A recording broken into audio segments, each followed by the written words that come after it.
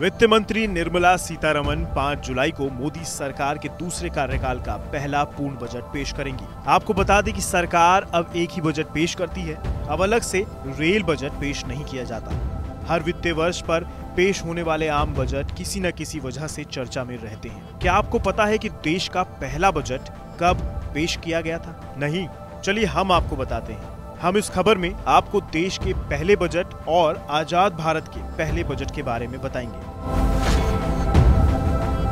भारत का पहला बजट एक अंग्रेज़ ने पेश किया था।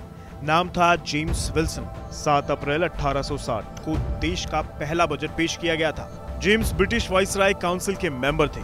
वहीं आज़ादी से पहले बनी भारत की अंतरिम सरकार का बजट लियाकत अली खान ने पेश किया था।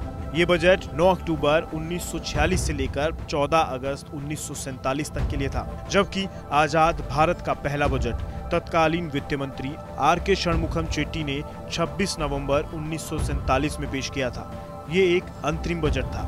आज़ाद भारत का पहला बजट वित्तीय वर्ष उन्नीस अड़तालीस में पेश किया गया, जो साढ़े सात महीने की अवधि के लिए था। दरअसल वित्त मंत्री ने सदन में कुल छह करोड़ बावन लाख रुपए के घाटे का बजट पेश किया था।